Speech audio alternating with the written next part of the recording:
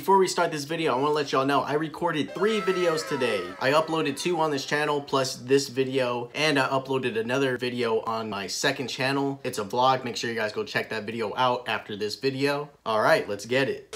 What's up guys, it's your host Huncho Joshi and welcome back to another reaction time. And as you can see from the title of this video, we're to be reacting to Devonte the One getting arrested at school animated story. And man, just from watching a lot of Devonte's videos, I can tell he was a badass kid, man. And I'm gonna be honest, I did some dumb shit too, but hey, we all learn from mistakes. Uh, this is definitely gonna be something crazy just by the title alone. If you guys want to see any of my other reactions to Devonte the One, I highly recommend y'all do. I have a playlist just for y'all guys to binge. There's some pretty crazy stories there. And uh, yeah, the link to his channel will be in the description below. So will his gaming channel. So without further ado, we're going to go ahead and jump straight in.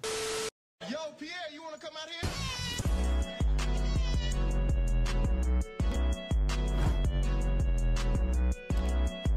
Man. I'm real curious to like see what's gonna happen. I learned from this story after it took place in my life is that making connections is mandatory, which even though I'm an omnivert, I have no problem with because knowing certain people personally opened up a lot of doors for me to walk out of situations like this. So to start off, I had a couple of family friends I grew up with, but none of them stood out more than the coolest friend I had. We're gonna call him by his nickname I gave him, B-Rye. Y'all ever had that one friend's house growing Pretty up that cool you always nickname. went over and it's like a breath of fresh air compared to back at your house? Yeah. Going over B-Rye's house was lit, especially when the squad came over. We'd play video games, we'd watch movies Man, from that used to time to shit, time. man. we'd Just going to your friend's house, loud. We'd play games, just chill anime out. Those were the days, we man. talk about the baddest chicks at school for like 40 seconds and only kept it at 40 seconds to a minute because regular niggas don't Bruh, sit around and talk about girls for hours. If you do that, then uh, you're a weirdo. We got other things to worry about, like playing 2K or when's the next chin hair gonna grow out or something. Sometimes we go into the backyard and fight with the swords B-Rye had. Whenever we'd get hungry, Dude, that was we'd kinda all me, walk to but Walmart, we used which back then was like Them an adventure because a lot of us didn't have cars. Walking around the neighborhood with friends used to be gas. You know, boys just being boys. When B-Rye's dad was home, he'd always allow us to drink the sodas out the fridge and eat pizza sometimes. Man, I and couldn't relate. My the friend's dad universe was so stingy with drinking his dad allowed sodas. us to do all those things. Well, it depends on, like, which friend, I thought I his guess. dad was cool. He and I were on mutual terms because whenever I come over, our conversations wouldn't even be conversations. You get what I'm conversating? I'd walk into the house, say hello, then got to stepping. All because B-Rye's dad Bro, had I would do the same morning, exact so thing, he too. wouldn't come home until later in the afternoon, and I didn't want to disturb his inner peace sitting on his couch watching his football games with a soda right next to him. Are you picking up what I'm putting down? Also, keep in mind that B-Rye's dad was a I think I'm starting to understand man. something. Remember that, because that's key to the story. Oh, Overall. B-Rye's house was the go-to Retired military dads, man, they something else, Fast I forward to my tell you, year in coming from a college, and by military this time, new people came along in the squad. Some people don't talk anymore. Blah, blah, blah, blah, blah, blah, blah, blah. I get it. People come and go. Now, almost every day after all my classes were done, I'd spend a couple hours working on a video. Then after, head over to hang with my homies. Priorities first, fun last. You gotta respect Yep. that because your boy was Shit, on look the where come got you. grind at Almost time. 200 On regular days, my currently updated like, squad right- had two places you're getting for me to close. hang out on the second floor of the main campus building and the game room, which was also in the main building. One day, me and my boy Sean decides to pick up B-Rye, who was like 25 minutes away from us, because we haven't seen him in some months. And at first, we weren't gonna go get them, but I don't know if you noticed, newsflash, cars don't run off of love and affection. I needs the monies. Yep. So I was like, it's whatever, it's B-Rye, so I'll pull some strings. We go pick them up and bring them to the campus and go to the first spot, the game room. And keep in mind, we had our bags down on the floor along with other people's bags right next to ours. Oh, I think he's gonna you, mess Sean around and grab the wrong bags, bag. An art bag and a school bag. We shooting some pool, playing some ping pong, B-Rye sitting down watching. After some time, we get tired, we leave, and we make our way to the library. We get there, pull out the Yu-Gi-Oh cards. Some time passes, and Sean looks at me and is like, "Yo, Mello." That was my nickname back in college. I think I left my second book bag back at the game room, which was across campus. Can you and B-Rye do me a favor all the way on the other side of 'Cause the I got school, bro. class. I'm like, okay, I don't mind. Vominos, everybody let's go. So we venture back to the game room, and here's where things get ugly. When we get to the Aw, game room, shit, we man. notice that everybody's bags are gone except for his, and the bag is still in the same area where he left it. And I'm like, oh, Bro, that's a little his suspicious, man. Still Now in the same spot. Nobody stole it. Cool. I grab it. We make our way to the library. And dog, I kid you not. As soon as we get to the library, I don't think I'm liking where this is going, man. This shit looks a little suspicious. notices that's not his bag. Yeah. See, oh, I knew it. Crap. The only thing on our minds was to get to stepping. So we rush out the library and make our way as fast as possible to the game room to put the bag back. And before we ever even got the chance to see the game room in our distance, Jeez, man.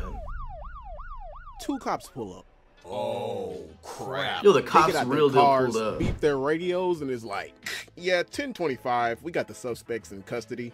10-4, bring him in. Whoa, whoa, whoa, wait, whoa, whoa, suspects. suspects, What you mean hold up, bro. suspects? What does look like Among Us? He starts pulling out some handcuffs. Don't worry, my brother. We just gotta detain y'all and take you down to the station for some questioning. Now put your hands behind your back. Now, And that's that shit, bro. Listen, this is a misunderstanding. I can explain. Oh no, this ain't no misunderstanding. We saw the cameras. camera. What you mean, cameras? Everybody around us sitting back and watching like it's a freaking football game. And at this point, we both nervous and Man, that's gotta be a serious, we- like I'm a scary situation. I can't pissed, even 'cause we imagine didn't know what being was in about to happen. The whole day was chill until this bull crap happened. But all I know is I wanted to scream "Thug Life" so bad while getting into that car, which was the wrong mindset to have at the time, because that life ain't nothing to glorify. All it does is bring. Yeah, I don't think that would've been a good move, jail but- time. For anybody watching that's been in Sheesh. Handcuffs before, y'all know that, bruh, it is so uncomfortable. They put us both in two separate cars and take us down to the library. But for what? And as soon as we pull up, coincidentally, Sean walks out at the same time they pull up. Talk about divine timing. They tell him that they're detaining him and why. Bruh, that's that get in shit, the car. And of course, with no hesitation, he agrees. But they didn't put handcuffs on this nigga, bro. I was just talking to these two about this memory before recording and animating it, and I'm still mad at the fact that they didn't get him handcuffed. Why? Why were we the only two in the cars that were freaking handcuffed? I don't get that. They take us down to Yeah, the police that's- station. They know, unhandcuffed man. us. We walk inside and they tell us to sit down in the chairs on the wall for questioning. Now, keep in mind, there were three cops in that room with us. One light skinned cop that looked at us like we slapped his wife or something. A dark skinned cop that was sitting at his desk on his computer laughing and joking on us. Ah, look at y'all mud suckers out here committing crimes. Ah, who's the real Dirty Dan? I guess I'm the real Dirty Dan. Pinhead. Uh oh, we got a real comedian over here. He must have not made it, cause that's why he's here. And a brown skinned cop that was dogging us. You did it. You did it. I know you did it. Stop lying to me. I Yo, know y'all what? stole the Like, I'm boy's trying to figure bag. out, like, You what happened. Me. Stole the boy's bag. We didn't steal a bag. This is Sean stuff. We got a call from somebody saying that their bag was stolen from the game room, and we saw two of you on the cameras that picked it up and left. And Patrick Star over here was associated with y'all hours before. So admit it, y'all stole it. Bro, we constantly argued to this man that we did not steal this man's Man. bag and that this was a misunderstanding. I'd 'cause be the drove bag that if I we was in this took looked situation. Exactly like Sean's second bag. And of course, this old man dogs us for 30 straight minutes while looking through our bags. Stop lying to me, son. Just admit it, y'all stole it. I swear I'll throw you in jail for lying to me. Bruh, the more I heard this man That's crazy. yell at They us doing all his this shit fish over a breath, the backpack. more I felt like we were gonna start smelling like old man throat. I'm sitting in my chair like, look at us, old nigga. Do we look like the type to steal? You literally found Yu-Gi-Oh cards, a bunch of childhood drawings, and a pack of gum in Sean's bag. and this man B-Rye got a Pokemon man. trainer hat. Them- and a them messenger cops need to let them And go I if they just find all that shit, man. cards. Who are we hurting? Bro. Stink meaner? The old farts like If somebody don't fess up, all y'all are going to jail, cause I don't like liars. and the other two cops leave into the back after trying to get our IDs. And bro, we were all literally so stressed out because we didn't want to go to jail for a misunderstanding and the fact that this man literally is dogging us for absolutely no reason because they looked us up and we didn't have any freaking criminal history. It got to the point where me and Sean just accepted our fates and was ready to do the time, and we agreed to make a song when we get out Man, on that's some a- Tee Grizzley type that's some shit. Until my boy B-Rye, the legend. Man, if they kept doing all that shit for that long, man, I probably would have accepted wild it too, card man. on these niggas, bro, and used the realest jutsu known to the anime community. Talk no jutsu. B-Rye explained to the man that his dad was a strict top-level military man and that he raised him on being honest and to never tell a lie, and felt that military kids aren't like that. And then he further explained that he grew up with me and Sean and that we never Yo, I'm not gonna lie, that's like that, and smart. promised this man that we weren't lying and So I'm probably gonna- did, I'm probably gonna he'd take that full technique too, then. All as the other two cops are walking out. And in my mind, I'm like, bruh, all that pillow talking ain't gonna work on a dude like him, but we don't got that many more weapons in our arsenal, so I'm gonna give him the benefit of the doubt. And bruh, I kid you not, as soon as the other two cops completely leave, this old man's expression went from pissed and determined to sympathetic and surprised after hearing that. We definitely Yo, that shit for real work. Hold up. he tells me and B Ride to go into the break room and for Sean to wait on the wall. And when I say this conversation happened like the others, this conversation even shocked me. Old man looks at us and he's like, All right, boys, listen. I'm gonna let you go, but only because your friend seemed genuine and his father is a part of the military. I thank your father for his service, and I don't think that military kids would tell lies like that. That's crazy because I know plenty of military kids that lie. That My shit is crazy as coming hell, man. So hard out there. I was just doing my job, you know, just doing. my Man, there's so many times I coulda So, used that telling me you excuse, that bro. rah, rah, rah, rah, rah, to keep your cop status. Shit, now I know. And now y'all guys know too. Shit. uh, reasonable. However, it's under one condition. You can't step on this campus ever again. If I see you, you getting arrested for trespassing. Understood? Now in my mind, I'm like, B-Ride's dad is the GOAT. No, matter of fact, thank God for putting the thought in our head to go get B-Ride that day. need imagine God if that would have happened if and. B-Ride wasn't there to save us with his dad's military cred. We walked out that room and Sean looked at us confused, but I gave him the nigga get your stuff don't say a word, and let's go look. Instantly, he knew exactly what I meant. He got his stuff,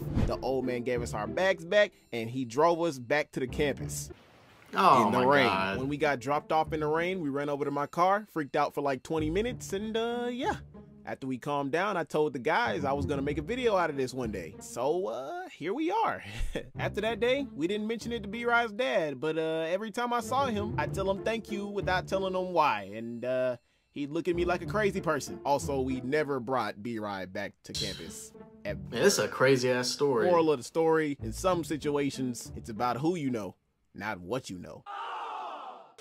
So that is the end of that. And bro, that is a crazy ass story. And I don't know what I would have done if I was in a situation like that. I mean, I probably would have done the same thing. Because if you're telling them one thing and they're not listening and they're just steady calling you a liar, only thing you can do is accept it. But B Rye really came in clutch, talking about how his dad a top ranking ex military man. For that to actually work, that's crazy. But uh, hopefully, you guys don't get stuck in a situation like that, especially with the cops nowadays, man. I'm just glad that they got out safe. Nothing too bad happened. But yeah, this is one crazy story, Devonte. And yeah, like I said, the link to Devonte's channel will be in the description below if you guys want to go check out any of his other videos. If y'all guys want me to react to any other video by Devonte the One or any other animator or someone who makes skits, comment down below as well. And since we're about nearing the end of the video, I want to take this time to shout out my merch. If you go to the description below, you'll see a link to my Huncho Joshi store. On my store, I have very high quality shirts, hoodies, phone cases, and more. So go cop some heat today. And if you do cop some heat, make sure you guys take a picture in it, send it to me on my social media to be shouted out in the next video. Make sure you guys like, comment, share to support your boy, subscribe if you're new to this channel, and if you are new, check out all my other series. Don't forget to hit the bell to be alarmed whenever a new banger is out. I'm your host, Huncho Joshi, and I'll see you guys in the next video. Peace, love y'all, stay clean, and I'll see y'all soon.